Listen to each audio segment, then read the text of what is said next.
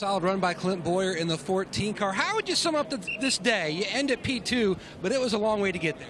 Well, we had to unclog ourselves. Once we unclogged ourselves, uh, we were uh, we were really good. Our you know our Mustangs were, were fast all weekend long.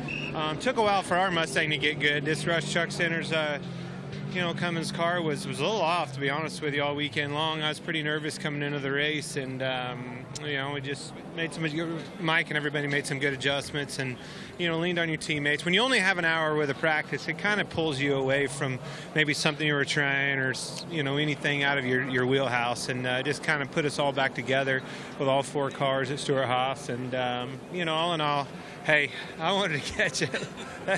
I wanted to catch him bad. Uh, he just come out of the pits way too far ahead of me, and wasn't much I could do about it. But um, you know, everybody involved, IT savvy folks were here.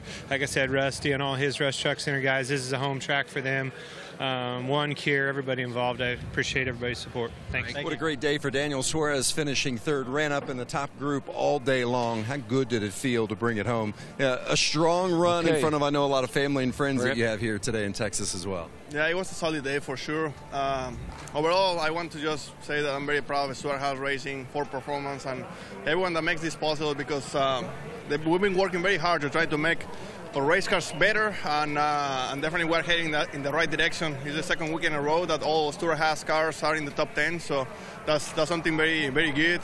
And overall, very proud of the 41 group because uh, we've been working hard to slowly get better and better, and uh, you know we're showing that this car was fast entire weekend, and um, just just very proud of the effort. Hopefully, we can keep heading in that direction and uh, finish in victory lane one day here soon. Hard work's paying off. Great job. Daniel Suarez, third place.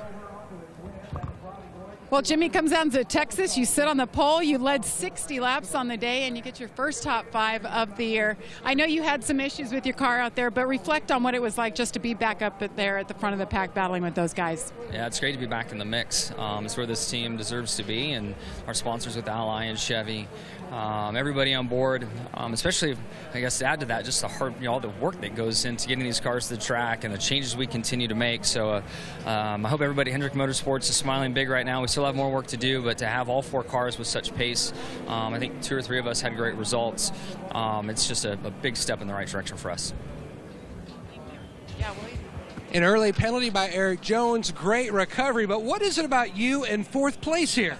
Yeah, I think that's three in a row for us. So I wish we'd cap it off and just win one of them here along the way. But uh, you know, we definitely had the car to do it. I think our Craftsman Camry by the end of the race was pretty close to being the uh, the best in the field. But I put us behind early. You know, we uh, spinning out on lap 15 isn't really the way to start your day, and uh, you know we had to really kind of dig out of a hole from there. So it's it's uh, you can't complain too much when you, when it's your fault. But uh, you know, it's still a good day. We've had a rough few weeks, and it's nice just to get back on track. We knew this was a good spot for us, and I would have been disappointed if we didn't run well here. So it's uh, good momentum from Bristol, one of my favorite places next week. So hopefully we can pick up a few more spots and get that win.